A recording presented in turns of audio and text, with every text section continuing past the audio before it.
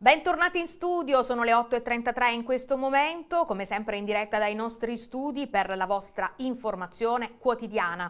E l'informazione del mattino, riapriamo ehm, questa seconda parte, riprendiamo eh, parlando eh, del dottor Milto Stefano De Nozza. Perché? Perché ehm, parliamo di un altro pugliese che nella commissione parlamentare d'inchiesta antimafia è stato inserito, attualmente è sostituto procuratore presso la direzione distrettuale antimafia di Lecce e avrà il ruolo di consulente. Guardate il servizio.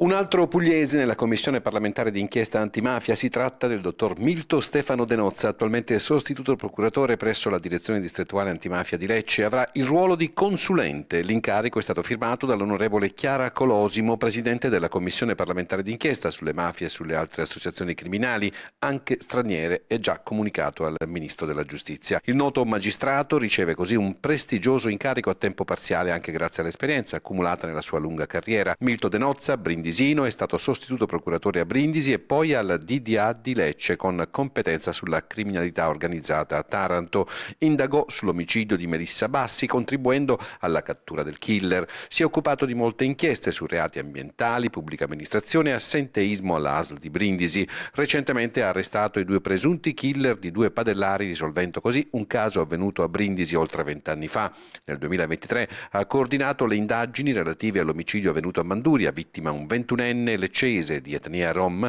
assassinato a coltellate e lasciato in un dirupo, un giallo risolto in pochi giorni con l'arresto di tre persone. E più recentemente, nel maggio scorso, il dottor Milto Stefano Denozza ha risolto il caso dell'omicidio Nardelli avvenuto a Taranto in via Cugini. Anche in questo caso assicurati alla giustizia i presunti autori materiali e i mandanti, tra cui anche il fratello della vittima.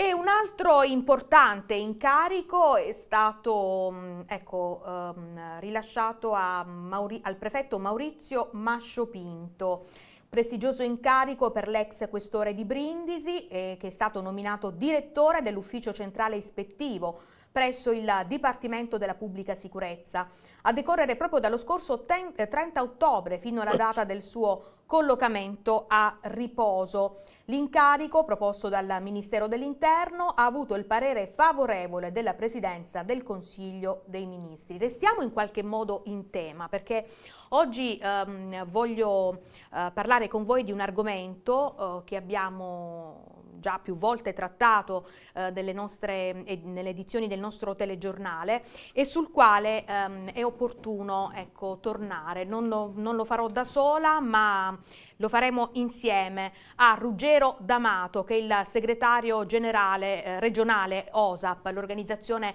sindacale autonoma della Polizia Penitenziaria che vedo già in collegamento e parleremo quindi della difficile situazione in cui versano le carceri pugliesi e quella di Taranto in particolare. Buongiorno Ruggero, benvenuto.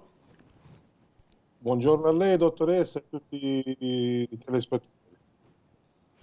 Allora, intanto grazie per aver accolto il nostro invito.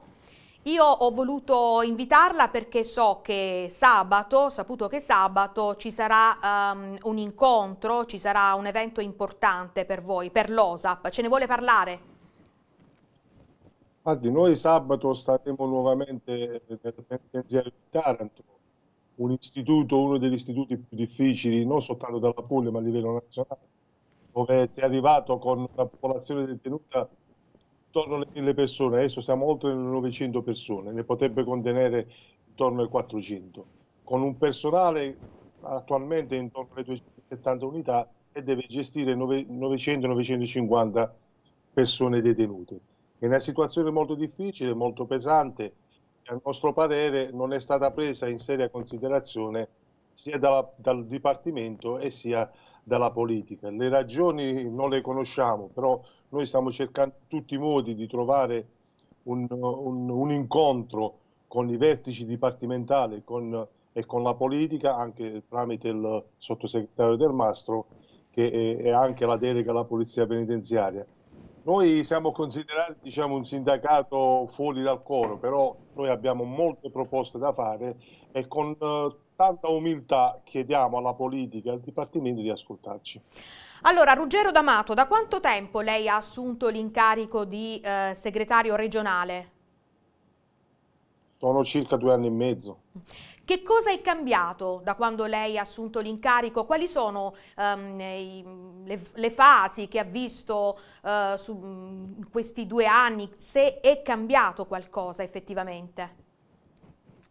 Guardi, in due anni sono cambiati quasi quattro capi del Dipartimento.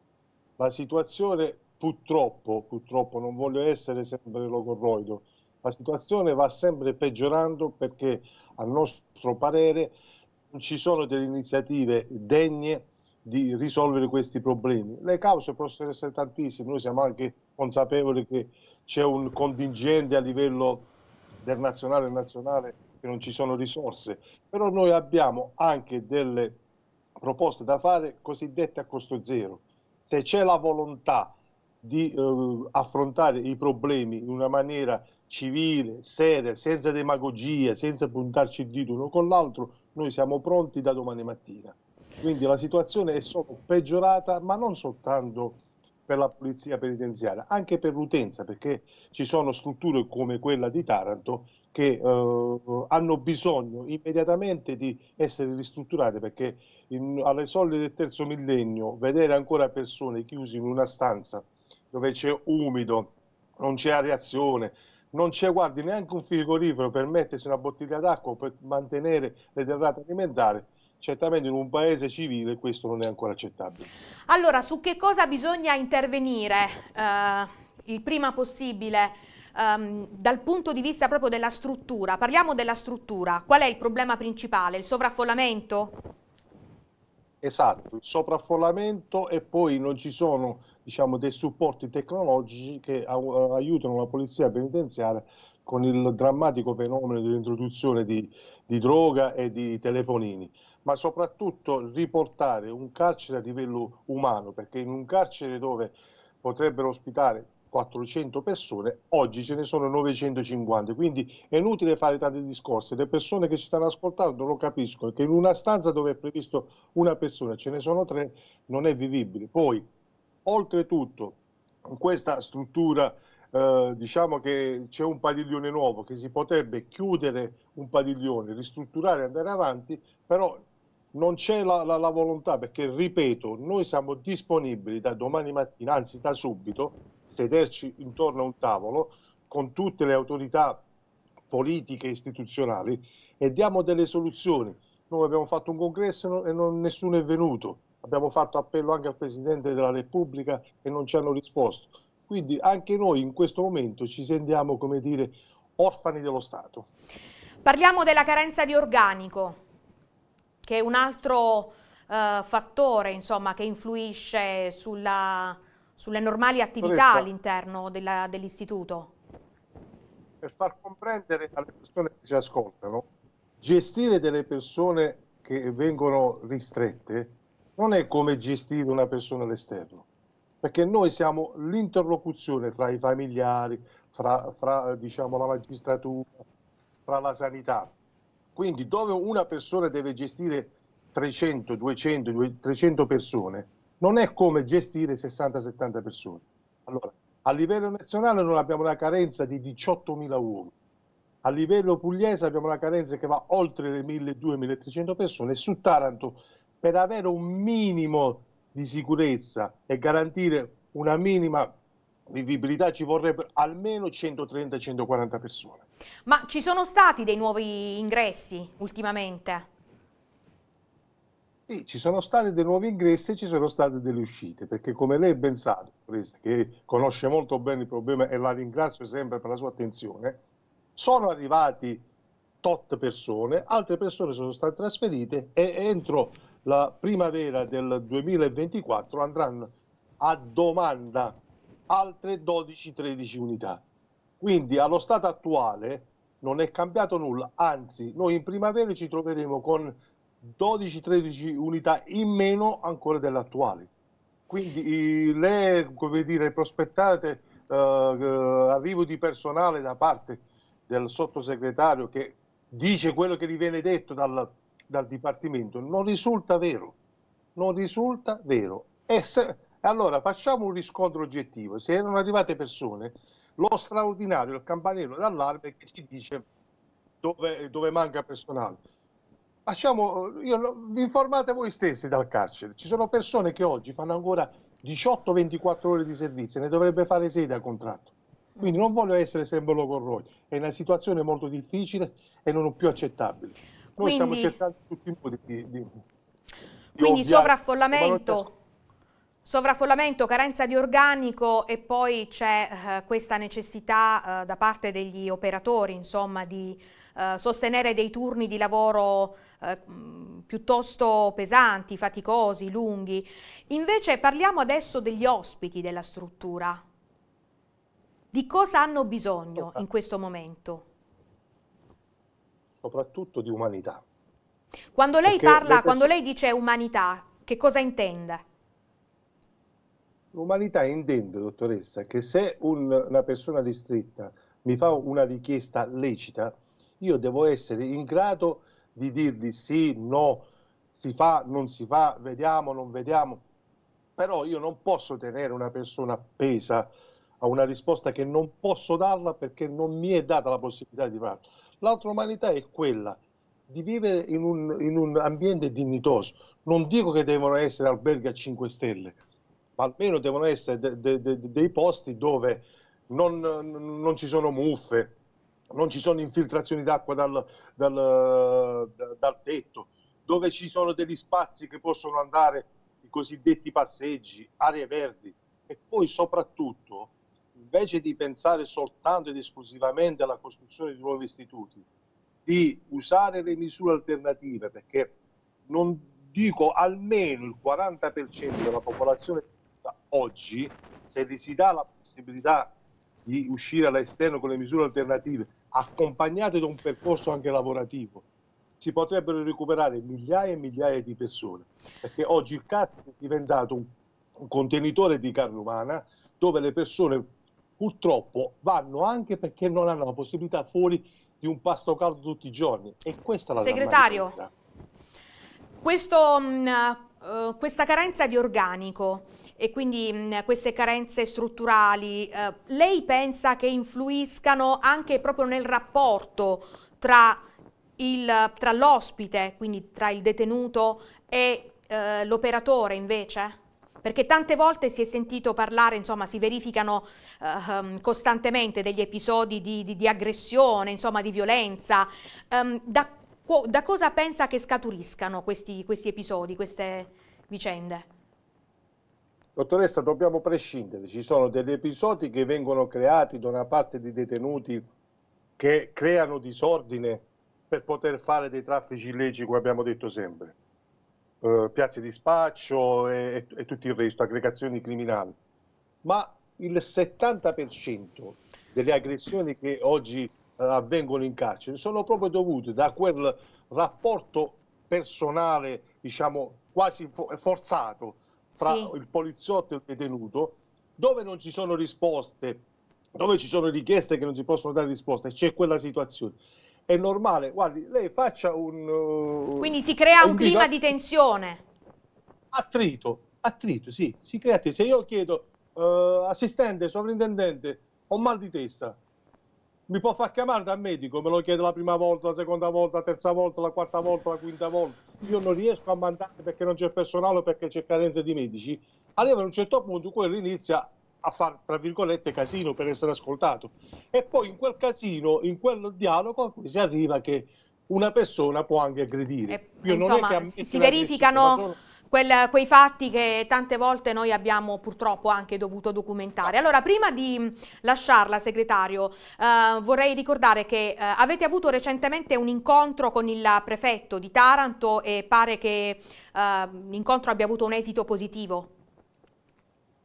Guardi, io in uh, eh, 31 anni di, di carriera e molti incontri con i prefetti, questo prefetto che ho incontrato è stata una persona che ha ascoltato tutti, e ha dato delle risposte mirate e riferite alla sua competenza, perché io non posso andare a parlare con il prefetto della mancanza d'organico. Il prefetto eh, diciamo, viene investito per l'ordine e la sicurezza pubblica e il carcere fa anche l'ordine e sicurezza pubblica.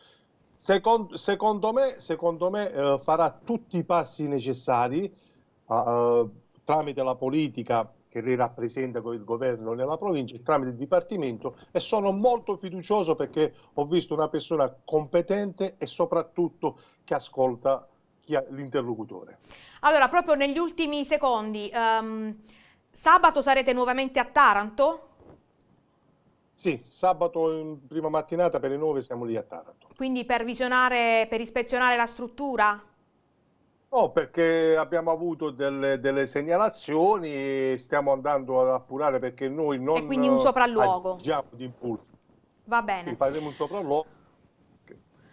Allora, nella speranza, che, nella speranza che la situazione insomma migliori Uh, io mh, la ringrazio per aver accolto il nostro invito, grazie per essere stato con noi e ovviamente un buon lavoro va a lei e a tutti i rappresentanti, tutti, tutti in realtà, tutte le sigle sindacali che rappresentano la polizia penitenziaria, a tutti gli operatori, tutti gli agenti di polizia penitenziaria esposti ogni giorno um, a dei insomma, fattori, dei rischi molto, molto importanti. Grazie per essere stato con noi, buon proseguimento di giornata. Ringrazio a lei e guardi, vi faccia passare questo oggi è la giornata dei, dei defunti e nelle scorse ore è, è, diciamo, è venuta a mancare la dottoressa eh, in Sardegna che ebbe l'incidente con il collega che anche lui è morto. Un ricordo a tutte le persone defunte e un uh, ricordo particolare alla dottoressa e al collega che è venuto a mancare. Grazie dottoressa. Un abbraccio a tutti gli agenti di polizia penitenziaria. E allora adesso um, cambiamo decisamente argomento. Chiederei alla regia di andare a Massafra per parlare eh, di una vicenda di cui si parla tanto, di cui si discute tanto in questi giorni, che ha documentato per noi eh, il nostro Ottavio Cristofaro. Guardate questo servizio che è uno speciale, un approfondimento su quello che sta accadendo a Massafra. Arriva.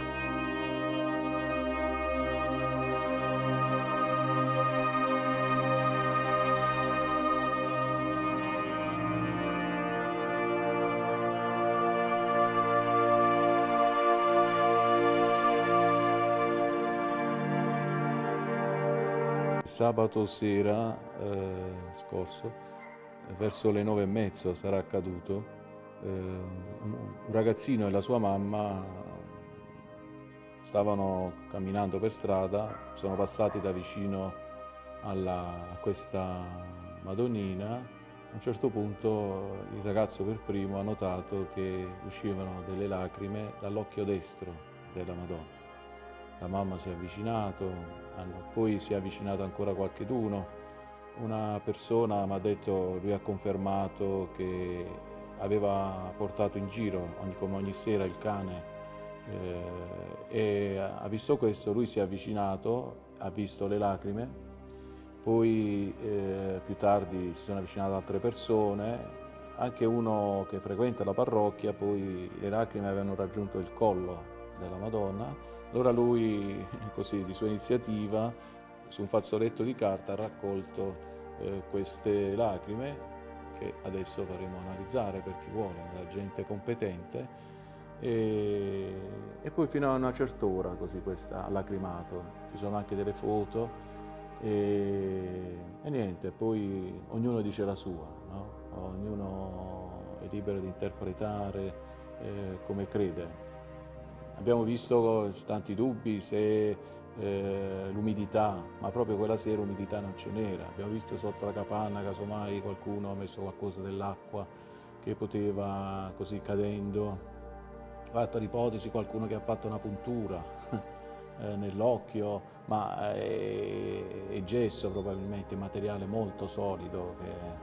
Che, e, così, eh, poi è accorsa tanta gente e, e, niente, siamo in attesa di esami, di, stiamo controllando eventuali telecamere, si stanno accertando anche i carabinieri, per eh, ecco, comprendere che cosa è successo, poi ognuno dà una sua interpretazione. Forse un segno divino, o forse solo qualche goccia di acqua caduta accidentalmente. Sabato sera il centro di Massafra si è trasformato in un luogo di pellegrinaggio di gente, cittadini anche solo curiosi di sapere quello che era avvenuto davanti al sagrato della parrocchia del Sacro Cuore di Gesù. Lì, in una sorta di giardinetto creato ad hoc alcuni anni fa, è posizionata da tempo una statua della Madonna, presenza importante in ogni luogo di culto religioso cristiano cattolico, questa statua pare che abbia fatto scendere dal suo viso alcune gocce, una sorta di pianto, immagine evangelica che ci riporta indubbiamente a scene della vita di Gesù.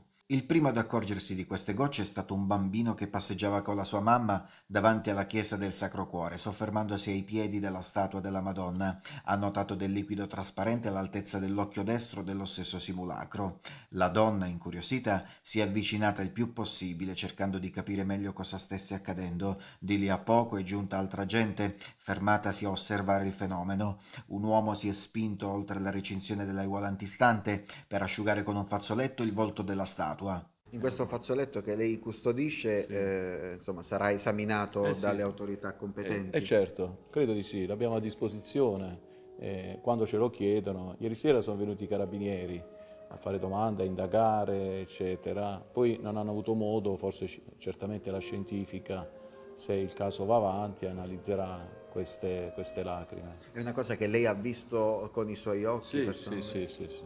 Ti posso dare anche qualche foto, poi sei libero di eh, come dire, interpretare, perché la gente poi ormai con i telefonini eh, hanno ripreso un po' questo momento. Eh, da parte sua però c'è un invito alla prudenza dopo aver ascoltato insomma, anche il parere l'opinione di Sua Eccellenza sì, eh, l'Arcivescovo. Sì, Monsignor Sabino è il Vescovo nostro di Castellaneta. E certo, perché se non abbiamo notizie sicure, certe, no? come possiamo fare delle affermazioni. Siamo tutti un po' tra lo stupito e l'incredulo anche, e siamo in attesa. Boh, non... In questi giorni sicuramente la sua comunità parrocchiale è stata eh, meta di pellegrinaggio da parte di curiosi e da parte di fedeli. Sì, sì, numerosi, la sera, il giorno di domenica, ieri, eh, oggi non so. È così perché abbiamo sentito qualche volta queste lacrime. Poi c'è un po' di prudenza perché, dicevano i carabinieri, a volte per attirare l'attenzione alcuni hanno usato degli stratagemmi, non so, marchingegni per eh, così attirare l'attenzione, per cui non sappiamo se qualcuno prima ha fatto delle cose. Non... Stiamo facendo, vedendo analizzare dal negozio, da... perché lì proprio la telecamera all'interno non l'abbiamo messa, non, non, ci abbiamo fatto mai caso, per vedere se ecco, qualcuno ha manomesso nei giorni precedenti, ha fatto qualcosa per poi far accadere tutto questo. E ringraziamo Ottavio Cristofaro, il nostro collega, per questo approfondimento. Ovviamente continueremo a seguire questa vicenda e vi terremo aggiornati. Intanto abbiamo terminato il tempo a nostra disposizione, termina qui questo eh, approfondimento del telegiornale mattutino di Antenna Sud. Vi ricordo che tutti i nostri servizi, le news, tutti gli aggiornamenti sono eh, disponibili eh, sul nostro sito www.antennasud.com, un sito che potrete consultare eh, sempre. Durante il giorno eh, troverete tutti i nostri servizi. Um, vi eh, ricordo l'appuntamento più tardi con Mattina Sud, da non perdere. A tutti voi buona giornata. Rimani connesso. Scarica gratuitamente dagli store o tramite QR code la nuova app di Antenna Sud più veloce e con più funzioni per essere aggiornato in tempo reale sulle news di Puglia e Basilicata, seguire in streaming i nostri programmi o rivederli on demand da qualsiasi dispositivo.